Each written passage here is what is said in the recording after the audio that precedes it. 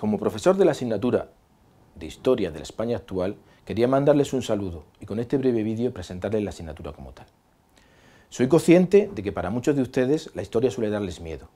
Piensan que es aburrida e incluso algunos se plantean cuestiones como ¿para qué me va a valer esto si yo lo que quiero es aprender periodismo y transmitir mensajes de manera rápida, eficiente y atractiva? Pues desde el primer momento quiero decirles que la historia, y específicamente la de España, va a valerles y mucho. ¿Por qué les digo esto?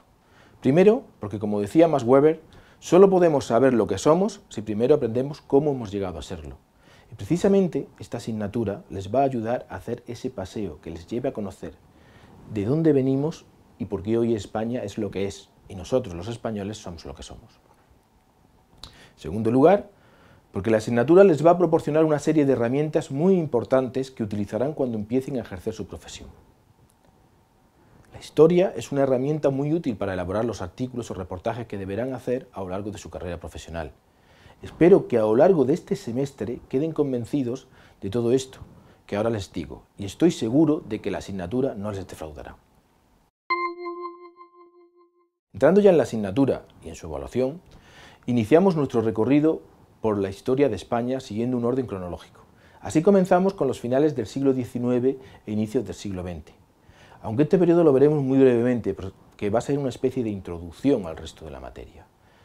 Pero, ¿por qué vemos estos años introductorios? Porque son años imprescindibles, fundamentales para entender los periodos más importantes de nuestra historia en el siglo XX, como son la Segunda República y el franquismo.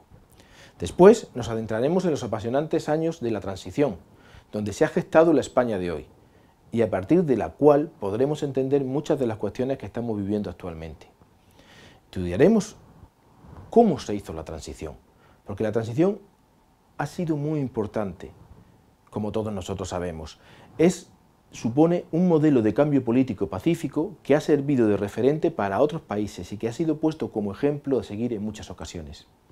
Aunque hoy en día, como todos vosotros sabéis, se están alzando voces que la están cuestionando. Tras la transición, terminaremos la asignatura con un rápido repaso de los gobiernos alternativos y alternantes del PSOE y el Partido Popular.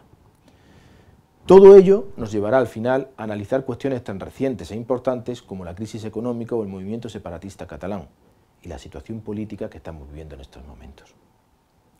Como ven, es un programa muy interesante para todos, pero especialmente para los periodistas. La evaluación de la asignatura se realizará mediante diversas actividades. En primer lugar, con trabajos en grupo basados en documentos históricos. En segundo lugar, a través de test de conocimiento online. Estos no solo les ayudarán a mantener un ritmo de estudio constante, sino que también les servirán de termómetro para medir su nivel de aprendizaje. Finalmente, tendremos un examen presencial en las fechas marcadas por la universidad. A lo largo del curso se explicará en qué consistirá exactamente dicho examen y qué estructura tendrá. No olviden que la ponderación general de la asignatura la tienen en la guía docente, por lo que les recomendamos que la lean con mucha atención. También les ayudará a familiarizarse con la asignatura la guía de estudio. Esta guía de estudio es un resumen conciso y claro de las distintas actividades y de los objetivos, metodología a seguir en la realización de las mismas. Para cualquier duda, estoy a su disposición a través del aula virtual.